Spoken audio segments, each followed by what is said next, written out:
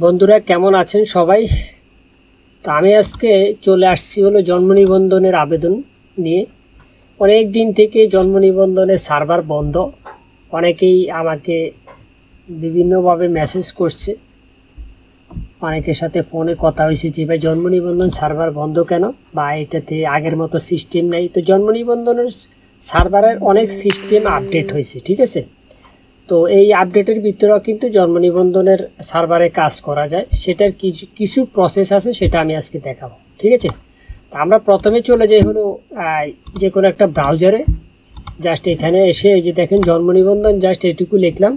এবার প্রথমে যদি আপনি এই জায়গাটা একটু প্রকাশ করেন যে জন্ম নিবন্ধনের জন্য আবেদন, এখানে যদি আপনি ক্লিক করেন, তাহলে আপনি এই জায়গাটায় নতুন যে জন্ম নিবন্ধনগুলো আছে, এগুলোর জন্য আপনি আবেদন করতে পারবেন। ঠিক আছে?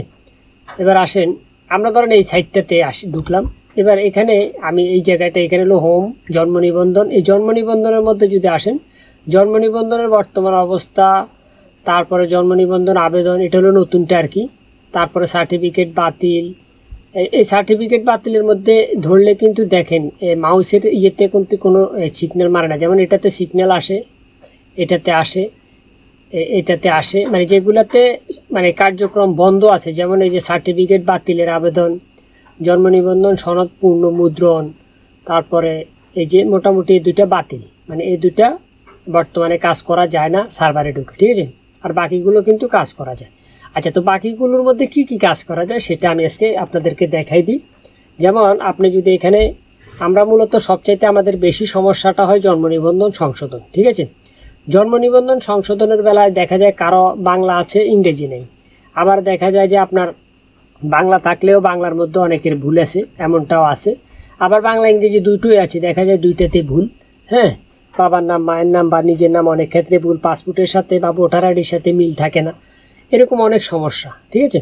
আমি এখানে মূলত আজকে যেটা দেখাবো আর কি, জন্ম নিবন্ধনের আবেদনের, আমি জাস্ট আপনাদেরকে দেখাই। যেমন আপনি যদি আপনার যে ছেলে মেয়েদের মানে একদম যেমন আপনার একজন সন্তান হয়েছে, ওই সন্তানের জন্ম নিবন্ধন করতে চান, সেই ক্ষেত্রে আপনি করতে পারবেন। সেটা নাগরিক সাইডে আপনি ইজিলিভাবে করতে পারবেন। যেমন এই যে এখানে দেখতে পাচ্ছেন জন্ম নিবন্ধন আবেদন। এখানে আপনি আবেদনটা করতে পারবেন। তো এটা আবেদন করার যেমন আগে ছিল হলো জন্ম নিবন্ধন মানে যদি কারও জন্ম নিবন্ধন নতুন করে বানাইতে যায়, সেই ক্ষেত্রে দেখা যায় যে ওই লোকের মানে পিতা অথবা মাতা দেখা যায় জন্ম নিবন্ধন নাই। সেই ক্ষেত্রে উনার উনাদের এনআইডি কার্ড দিয়েও ছেলে মেয়ের জন্ম নিবন্ধন করা যেত বা উনাদের পাসপোর্ট দিয়েও করা যেত কিংবা দেখা যায় উনাদের আহ, জন্ম নিবন্ধন বাংলা আছে ইংরেজি নেই সেক্ষেত্রে ওটা দিয়েও করা যেত। কিন্তু এখন যে প্রসেসটা এটা অনেক হার্ড করে ফেলছে। বাবা মার জন্ম নিবন্ধন থাকা আবশ্যক ঠিক আছে? বাবা মার জন্ম নিবন্ধন যদি বাংলা থাকে সেই ক্ষেত্রে ছেলে মেয়ের জন্ম নিবন্ধন বাংলাতেই হবে। মানে আপনি আপনার একটা সন্তানের জন্ম নিবন্ধন করতে চাচ্ছেন সেই ক্ষেত্রে বাবা মার আপনার মানে ওই সন্তানের বাবা মার জন্ম নিবন্ধন হলো শুধু বাংলায় আছে সেই ক্ষেত্রে ছেলেটা বা মেয়েটা যাই বলেন এটা বাংলা আসবে মানে বাবা মার নামটা, ঠিক আছে? ওর নাম বাংলা, ইংরেজি ঠিক আসবে, কিন্তু বাবা মার নামটা বাংলা, শুধু বাংলায় আসবে।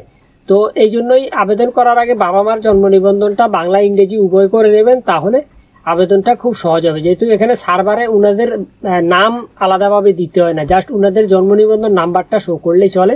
ওখানে যখন নাম্বারটা দেবেন, সার্ভার অটো নিয়ে নেবে বাবা মার নাম। ঠিক আছে? তো আমি দেখিয়ে দিচ্ছি। আমরা এখন একটা জন্ম নিবন্ধন আবেদন করব। তো আবেদনের জন্য যেটা দেখালাম, প্রথমে গুগল ক্রোম ব্রাউজারে এসে জন্ম নিবন্ধন লিখবেন। তারপরে এই যে জন্ম নিবন্ধন আবেদন, এটা অটোমেটিকলি চলে আসবে। এখানে আমরা এখন দেখেন, এই পরবর্তী অপশনে যাব। তার আগে বলে রাখি যে জন্মস্থান, স্থায়ী ঠিকানা, আপনি কোন ঠিকানা আবেদন করতে চান সেটা আপনি এখান থেকে দিতে পারেন। এবং আপনি যদি বাংলাদেশ দূতাবাসে জন্ম নিবন্ধন আবেদন করতে চান, তবে এটি নির্বাচন করুন। যে যে দূতাবাস আছে, ওরাও কিন্তু জন্ম নিবন্ধন করে, যে আরব আমিরাত বিভিন্ন দেশ থেকে পাসপোর্ট সংশোধনের জন্য বা পাসপোর্টের যে রি ইস্যু বলে বা রেনিউ যাই বলেন এগুলোর জন্য ওরা এটা করতো। ওদেরও দেখা যায় যে ওই শুধু ইংরেজিটা দিত, বাংলাটা দিত না। তখন এই জাতীয় যে জন্ম নিবন্ধনগুলোর কথা বললাম, এটা আসলে সংশোধন করতে গেলে ক্রিটিক্যাল ঠিক আছে? এটা আপনার ইউনিয়নে হবে না, এটা আপনাকে সরাসরি ঢাকায় গিয়ে হেড অফিসে করতে হবে। এটাই। তো আমি আজকে এখানে যেমন জন্মস্থানের ঠিকানা দিলাম, এখানে পরবর্তী অপশনে ক্লিক করব। এবার এখানে দেখেন, নামের প্রথম অংশ বাংলায়, নামের শেষ অংশ বাংলায় এটা আমরা দিয়ে দেব, ঠিক আছে? মানে প্রথম অংশ নাই জাস্ট শেষের অংশটা আছে। তো আমি শেষের অংশটা দিলাম। প্রথম অংশ নাই, তো এই জন্য প্রথম অংশ দিলাম না। মানে নাম যদি শুধু যেমন মোহাম্মদ তাসনিম হয় আর কি, সেই ক্ষেত্রে আপনি এখানে মোহাম্মদ দিবেন, এখানে তাসনিম দিবেন। আর যদি যেমন এই লোকটা তাসমিহা মানে একটা মেয়ে, সেই ক্ষেত্রে প্রথমে কিছু নাই। এই জন্য আমি দ্বিতীয় অপশনে দিয়েছি। যেহেতু এখানে প্রথম ঘরে স্টার চিহ্ন নাই দ্বিতীয় ঘরে স্টার চিহ্ন আছে, তাই দ্বিতীয় ঘর পূরণ করা আবশ্যক, ঠিক আছে? অর্থাৎ স্টার চিহ্ন যে যে ঘরে আছে, এটা পূরণ করতেই হবে, না হলে আপনি ফাইল সাবমিট করতে পারবেন না, ওকে? এবার আসেন এখানে নামের প্রথম অংশ ইংরেজিতে, নামের শেষ অংশ ইংরেজিতে, এখানে স্টার চিহ্ন আছে, আমি শেষ অংশটাই দেব, এখানে দিলাম। এবার হলো ওর জন্ম তারিখ, ঠিক আছে? এই যে জন্ম তারিখের এই যে যে ঘরটা দেখতে পাচ্ছেন, জন্ম তারিখ, এখানে এসে আপনারা জন্ম তারিখ টাইপ করতে পারেন। এখানে কপি পেস্টের মাধ্যমে সেরে নিচ্ছি, দিয়ে দিলাম। এখানে যখন আমি এটা পেস্ট করলাম মানে জন্ম নিবন্ধনটা দিলাম, তখন এখানে ওনারা ওই যে আগের মতো জন্ম নিবন্ধনের সার্ভার যেটা, এটা দেখাইতো যে আপনি যে জন্ম নিবন্ধন আবেদন করেন, আপনার কাছে কি কোনো ডকুমেন্ট আছে? যেমন এখানে আমার কাছে এই ডকুমেন্ট আছে, আমার কাছে এই ডকুমেন্টগুলো নেই। তো এই ডকুমেন্টগুলো কোনগুলো? এগুলা। যেমন এগুলোর মধ্যে আপনার যে টিকার কার্ড অর্থাৎ ছোটোবেলা যে টিকার কার্ড অথবা স্কুল এই যে মাধ্যমিক স্কুল সার্টিফিকেট হ্যাঁ?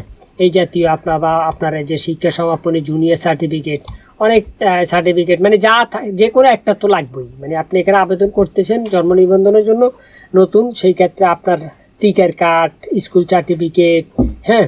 মানে যে কোনো একটা আপনার থাকতে হবে, ঠিক আছে? অথবা কোনো ডাক্তার কর্তৃক কোনো সনদ যদি থাকে, সেটা আপনি দিতে পারেন।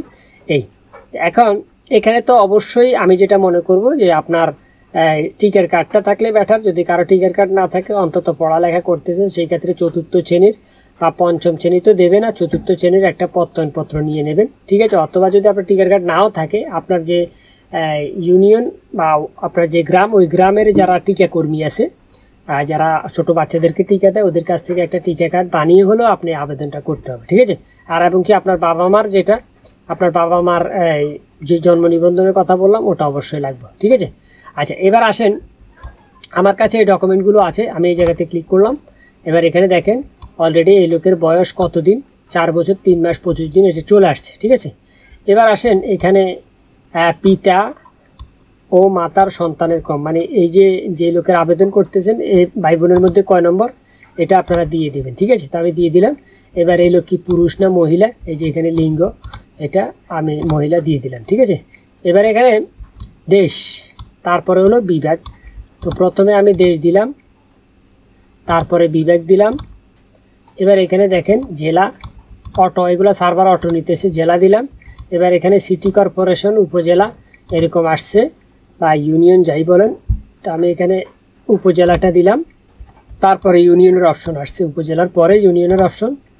তো ইউনিয়ন দিলাম, ইউনিয়নে আপনার যে ওয়ার্ড মানে গ্রাম, গ্রামের কত নাম্বার ওয়ার্ড, সেটা আমি এখানে দিয়ে দিলাম। এবার আসেন ডাকঘর, ডাকঘরের নাম বাংলায় ডাকঘরের নাম ইংরেজিতে, ঠিক আছে? ডাকঘর বাংলায়, ডাকঘর ইংরেজিতে, ঠিক আছে? এবারে হলো, এখানে গ্রাম মহল্লা বাংলায় মানে আপনার গ্রামের নাম বাংলায়, আপনার গ্রামের নাম ইংরেজিতে, এটা দিতে হবে। এবার হলো এখানে দেখেন, সড়ক নাম্বার মানে এটার কথা বলছে, এটা বাংলায়, এটা এই পাশে হলো ইংরেজিতে। সড়ক নাম্বার ভাষা এরকম, তো সেই ক্ষেত্রে আপনি যেটা করতে হবে, সেটা হলো আপনার যে বাড়ি মানে গ্রামে যেহেতু আমরা থাকি, বেশিরভাগ লোকেই, তো গ্রামে আপনার যে বাড়ি, বাড়ির নামটা আপনি এখানে দিয়ে দিবেন ঠিক আছে? যেহেতু উপরে আপনি ডাকঘর দিলেন, গ্রাম দিলেন, এবার বাড়ির নামটা দেবেন ওকে? তো আমাদের এখানে মোটামুটি প্রথম ধাপের কাজ শেষ, আমরা এখানে কমপ্লিটলি এটা পূরণ করে ফেলছি। এবার আমাদের কাজ হবে পরবর্তী অপশন পরবর্তী অপশনে ক্লিক করলাম। এটাই হলো মোস্ট ইম্পর্ট্যান্ট একটা বিষয়, যেমন এখানে দেখাইছে হলো পিতার তথ্য, এই যে দেখেন পিতার তথ্য, তো পিতার তথ্যের মধ্যে দেখেন এই যে এই জায়গাটা যদি আপনি খেয়াল করেন যে পিতার জন্ম নিবন্ধন নাম্বার এই জায়গায় দেওয়ার কথা বলছে, ঠিক আছে? আবার এখানে দেখেন পিতার নাম বাংলায়, পিতার নাম ইংরেজিতে, পিতার জাতীয় পরিচয়পত্র, পিতার জাতীয়তা। তো এখানে দেখেন এই যে তিনটা ঘর, এই তিনটা ঘর কিন্তু হাইড এই তিনটা ঘরে পিতার নাম বাংলায়, পিতার নাম ইংরেজিতে, পিতার নাম জাতীয় পরিচয়পত্র। এই তিনটা ঘর কিন্তু হাইড মানে এগুলো আগে দেওয়ার সিস্টেম ছিল, এখন আর সিস্টেম নাই ওকে আচ্ছা এবার হলো আমরা এখানে পিতার জন্ম নিবন্ধন নাম্বারটা দিয়ে দেবো। তো পিতার এই জন্ম নিবন্ধন নাম্বারটা দিলাম। এবার দেখেন এখানে পিতার বয়সও চাচ্ছে। আগে কিন্তু পিতার বয়সটা চাইতো না। কারণ কেন চাইতো না? কারণ এখানে আপনার হলো এই এই জায়গাতে যখন আমরা নাম্বার দিতাম তখন এটা অটোমেটিকলি একটা খালি ঘরে এভাবে ক্লিক করলে এটা ওনাদের নামটা নিয়ে নিত। কিন্তু এখন ওদের জন্ম তারিখ সহ আমাদের এখানে বসাতে হবে। আচ্ছা আমি পিতার জন্ম তারিখটা এখানে দিয়ে দিচ্ছি। এই যে জায়গাটায় দেখতে পাচ্ছেন। মানে পিতার জন্ম নিবন্ধন নাম্বার দিলাম, পিতার বয়সটা এখানে দিয়ে দিলাম ওকে এবার হলো আমি মায়ের ইনফরমেশনটা দিয়ে দিই। তো আমার এখানে পিতার ইনফরমেশন টোটালি দেওয়া শেষ। প্রথমে হাইট ছিল, এখন অ্যালাউ হয়েছে। মাতার ইনফরমেশনও দেওয়া শেষ। এবার আমরা পরবর্তী অপশনে ক্লিক করি। পরবর্তী অপশনে ক্লিক করার পরে দেখেন, আমাদেরকে পরবর্তী অপশনে নিয়ে গেছে অলরেডি এবার এখানে হলো এখানে হলো আপনার জন্মস্থানের ঠিকানা এই জায়গায় দেবেন। আর যদি জন্মস্থান আর স্থায়ী ঠিকানা একই হয়, সেই ক্ষেত্রে এই জায়গাটায় জাস্ট টিকমার্ক দিয়ে দিলে হবে। এবার একটা বিষয় দেখাই। আমরা কিন্তু প্রথমে যেটা করছিলাম, একটা মানে এরকম একটা ইয়ে পূরণ করছি একদম প্রথমে। তো সেটা আর যদি এই স্থায়ী ঠিকানা কিংবা বর্তমান ঠিকানা মানে জন্মস্থানের ঠিকানা, স্থায়ী ঠিকানা কিংবা স্থায়ী ঠিকানার বর্তমান ঠিকানা সব যদি একই হয় মানে প্রথম যেটা পূরণ করছেন সেটা হলো জন্মস্থান, ঠিক আছে? তো এখানে দেখেন, জন্মস্থানের ঠিকানা ও স্থায়ী ঠিকানা যদি একই হয়, সেই ক্ষেত্রে জাস্ট মানে আগেরটার সাথে যদি মিল রাখতে চান বা তিনোটা একই হয়, সেই ক্ষেত্রে একই মানে এই জায়গাতে ক্লিক করে দেবেন। আবার মানে আবার এই নিচেরটায় ক্লিক করে দেবেন, ঠিক আছে? তাহলে সব এক হয়ে যাবে। আর যদি না, আপনি দেখা যায় আপনার জন্মস্থান হলো খুলনায়, এখন বর্তমানে আপনি বসবাস করতেছেন ঢাকায়, সেই ক্ষেত্রে বর্তমান ঠিকানা ঢাকার দেবেন আর জন্মস্থানের ঠিকানা খুলনায় দেবেন। সিস্টেমটা এইটা আর কি, বুঝছেন? তো আমি যেমন এই, এখানে নিচের যে অপশনটা দেখতে পাচ্ছেন, এটাতে আমি ক্লিক করে দিলাম। এই যে এখানে, এই যে এখানে দেখেন এই যে নিচে, এই যে স্থায়ী ঠিকানা, বর্তমান ঠিকানা একই, এখানে আমি ক্লিক করে দেবো। তো এখানে ক্লিক করার সাথে সাথে উপরেগুলো নিচে চলে আসছে। তার মানে এই লোকের জন্মস্থানের ঠিকানা এক জায়গায় আর স্থায়ী আর বর্তমান আরেক জায়গায়, ঠিক আছে? তো এবার আমরা এই পরবর্তী অপশনে ক্লিক করব। এখানে ক্লিক করার পরে এবার দেখেন, এখানে লিখছে নিবন্ধন ব্যক্তি আঠারো বছরের নিম্নে মানে আঠারো বছরের কম বয়স হলে তাহার পিতা মাতা অথবা আইনানুগ অভিভাবক মানে আপনার এই এই আবেদনটা স্বাক্ষর, টিপস এগুলোর কথা বলছি আর কি, যাকে, এগুলো তো লাগে না। মানে ওনারা এটা আবেদনটা করতে পারবে। তো এখন এই লোকটা তো আঠারো বছরের নিচে। ওনার আবেদনটা কে করতেছে? যেমন পিতা, মাতা, নিজ, এরকম অনেক কিছু আছে। তো এখানে যেমন আবেদনটা করতেছে হলো পিতা। তো পিতা দেওয়ার সাথে সাথে কিন্তু পিতার নামটা এখানে চলে আসছে। এবার আমরা এখানে সংযুক্ত প্রমাণাদি যেটা, কাগজপত্র, এটা আমরা এখানে দাখিল করব, ঠিক আছে? তো প্রমাণাদি, কাগজপত্র দাখিল করার জন্য এই যে সংযোগ, এখানে আমরা ক্লিক করব। এখানে ক্লিক করার পরে উনার ফাইলটা আমরা যে জায়গায় রাখছি, আমরা ওই জায়গাটায় চলে যাব, ঠিক আছে? এখন এই যে, ওই জায়গাটায় যাওয়ার পরে প্রথমে ওর টিকা কার্ডটা আমি এখানে সাবমিট করে দেব। এই যে টিকা কার্ড একদম প্রথমে যেটা, সেটা হলো চিকিৎসা কর্তৃক প্রত্যয়নপত্র বাংলাদেশ মেডিকেল ডেন্টাল কলেজ স্বীকৃতি এমবিবিএস মানে ডাক্তার মানে যে কোনো ডাক্তার থেকে আপনি অর্থাৎ টিকা যে কর্মী, কর্মীটাও তো একটা ডাক্তার, তাই না? ওই ডাক্তার থেকে আপনি যে সার্টিফিকেটটা পাইছেন, অর্থাৎ টিকার যে কার্ডটা ওটা প্রথমে ঢালবেন। যদি সেটা না থাকে, আপনার কোনো স্কুল সার্টিফিকেট জুনিয়র সার্টিফিকেট প্রাথমিক শিক্ষা সার্টিফিকেট পিএসসি জেএসসি এসিসি যাই বলেন, এরকম সার্টিফিকেট থাকলে ওটা দেবেন। মানে যে কোনো একটা দিতে হবে, ঠিক আছে? এখানে ঘর কিন্তু দুটো। প্রথম ঘরে নিজের ডকুমেন্ট পরে ঘরে বাবা অথবা মায়ের ডকুমেন্ট ঠিক আছে? তো আমরা প্রথম ঘরে ওর নিজের একটা টিকার কার্ড দিয়ে দিলাম, দেওয়ার পরে এখানে স্টার্ট বাটনে ক্লিক করব। আর এটা অলরেডি আপলোড হয়ে গেছে। এখানে একটা বিষয় বলে রাখি, আপনার যতগুলো মানে যে ফাইলগুলো এখানে আপলোড করবেন সেটা একশো কিলো কিলোবাইট মানে একশো কেবির ভিতরে রাখবেন, এটা কনভার্ট করে নেবেন, আমার কনভার্ট করা আছে। এবার আমরা দ্বিতীয়তে আবার টিপ দেব, এবার ওর বাবারটা দিয়ে দেব, চাইলে মায়েরটাও দিতে পারবেন। এখানে দেখেন নিচের অপশন যেটা, সেটা হলো পিতা মাতা তাদের যে ইয়েটা, ওটার কথা বলছে, তাদের ডকুমেন্ট দিয়ে আমি আবার স্টেটে মারলাম। এখানে দেখেন দুটোই কিন্তু আপলোড হয়ে গেছে। এখানে দুটোর বেশি তিনটা দেবেন না, অথবা একটাও দেবেন না। মানে হয় দুটো, দুটোই বরাবর দিতে হবে, একটা ওর একটা ওর পিতা মাতা ঠিক আছে? আর না হয় আপনার, আপনি যদি দুটো না দিতে পারেন, তাহলে কিন্তু দুটো জায়গায় তিনটাও দেওয়া যাবে না, অথবা চারটা, অথবা দুইটার নিচে এটা সম্ভব না। অর্থাৎ দুটো দিয়ে আপনি পরবর্তী অপশনে মানে দিতে হবে। তাহলে এটা সামনে আগাবে, না হলে কিন্তু আপনি সাবমিট করতে পারবেন না। আবারও বলে দিচ্ছি, দুটো বরাবর দেবেন, তিনটাও দেবেন না, একটাও দেবেন না। দুটা বরাবর। তো আমি এখানে এগুলো টোটালি আমার এই এই জ্যাকেটের কাজ শেষ। এবার আমরা এই পরবর্তী যে ধাপ দেখতে পাচ্ছেন, এখানে ক্লিক করলাম। এখানে ক্লিক করার পরে এখানে ওনারা বলে দিছে যে, আবেদনপত্রটি সাবমিট করার পূর্বে সকল তথ্য ঠিক আছে কিনা দেখে নিন এবং আবেদনকারীকে দেখান। মনে রাখবেন, একবার সাবমিট করা হয়ে গেলে আবেদনপত্রটি আর এডিট করার সুযোগ নেই। তো আবেদনপত্রটি যদি কোনো কোনো কম্পিউটার দোকানে আবেদন করেন, সেক্ষেত্রে কম্পিউটার দোকানদাররা অবশ্যই যারা আবেদন করতেছেন তাকে দেখাবেন। অথবা আপনি নিজে আবেদন করলে ভালোভাবে দেখে নেবেন, ঠিক আছে? তো এখানে আবেদনপত্রের মধ্যে আপনি এতক্ষণ যা যা পূরণ করছেন সব বায়োডাটা এখানে কিন্তু দেখাচ্ছে, ঠিক আছে? এবার আসেন, এই জায়গাটাই হলো মূল ইম্পর্ট্যান্ট একটা বিষয়, যেমন এখানে দেখানো হয়েছে ইমেল এবং কি আপনার ফোন নাম্বার ঠিক আছে? তো ইমেল বাদ দিলাম, এখানে ফোন নাম্বার দিতে হবে, একটা সচল একটা ফোন নাম্বার দেবেন, যেখানে একটা ওটিপি যাবে, ঠিক আছে? ওই ওটিপিতে আপনি আবার এই খালি ঘরে দিয়ে সাবমিটে ক্লিক করবেন ওকে তা আমি যেমন একটা ফোন নাম্বার এখানে দিয়ে দিচ্ছি একটা সচল ফোন নাম্বার দিতে হবে। যেমন আমি এই যে ফোন নাম্বারটা এখানে দিলাম, এবার আমি এই ওটিপি পাঠান, দেখতে পাচ্ছেন এই জায়গাটায়। এই জায়গাটায় আমি ক্লিক করব।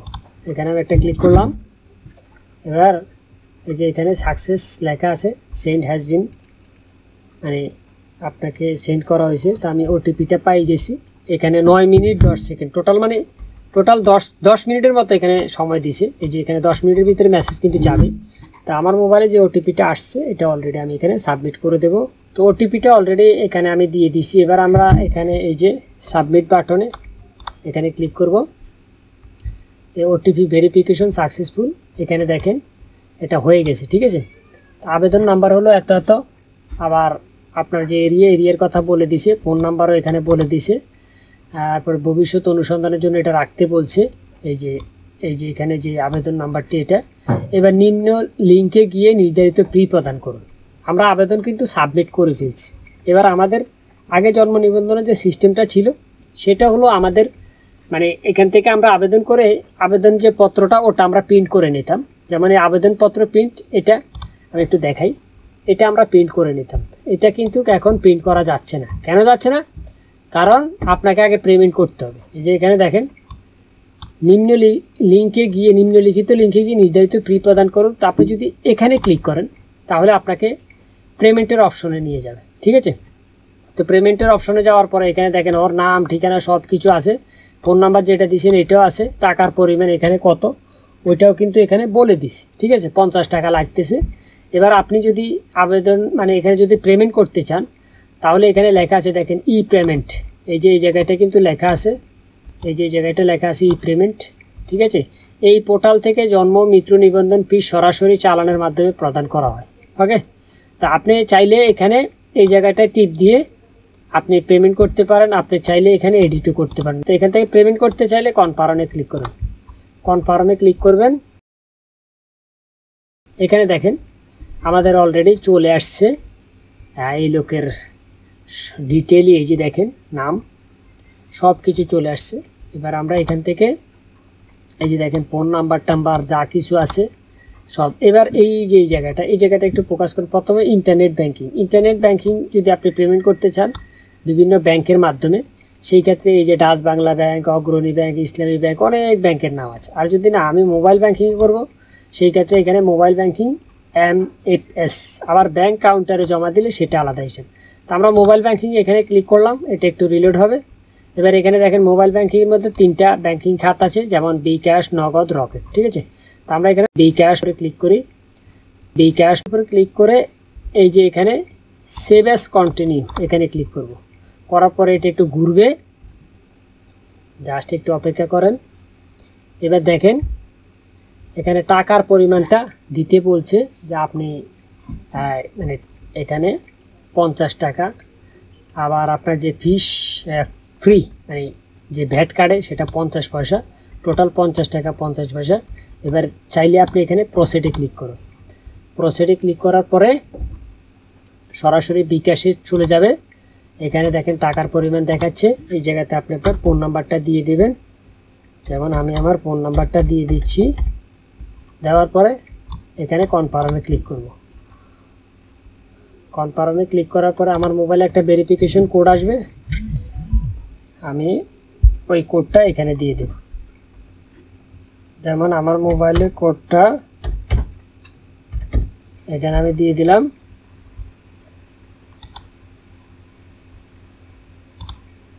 কনফার্মে ক্লিক করলাম। এবার এখানে পিনকোড দিয়ে দেব। ঠিক আছে? পিনকোড দেওয়ার পরে এখানে আমি কনফার্মে মারব। জাস্ট একটু অপেক্ষা করতে হবে। নেট কানেকশন কিন্তু সচল রাখবেন, না হলে কিন্তু বিপদ আছে। তা আমার এখানে অলরেডি পেমেন্ট করা শেষ। দেখতে পাচ্ছেন।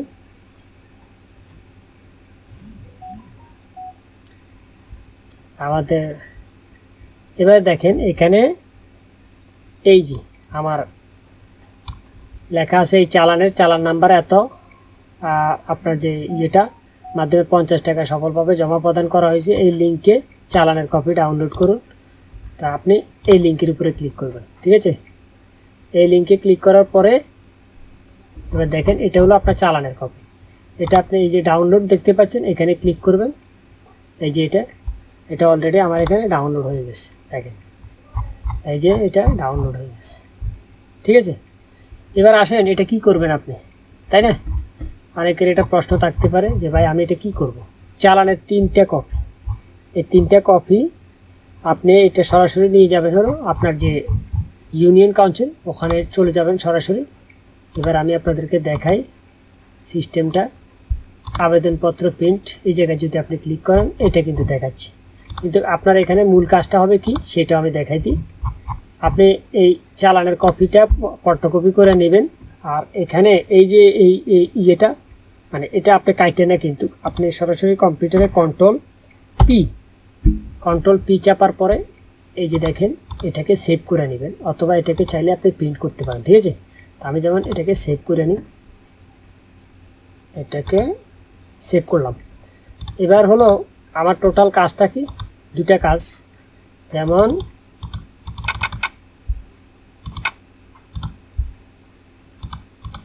এই যে আমার এটা হলো আমার যে আবেদনপত্র ওইটার নাম্বার এখানে আছে, দেখেন, এই যে।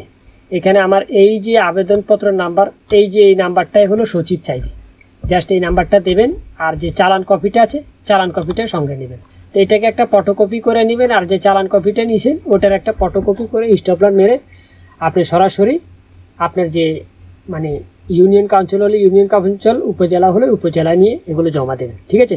এগুলো জমা দেওয়ার পরে ওনারা নির্দিষ্ট একটা টাইম নেবে, দু একদিনের ভিতরে আপনাকে জন্ম নিবন্ধনগুলো করে দেবে। তো আমি আশা করে ভিডিওটা আপনাদেরকে বুঝাইতে পারছি। তো ভিডিও আর বেশি লং করব না, আজকের জন্য এতটুকু। ভালো থাকবেন সবাই, আল্লাহ।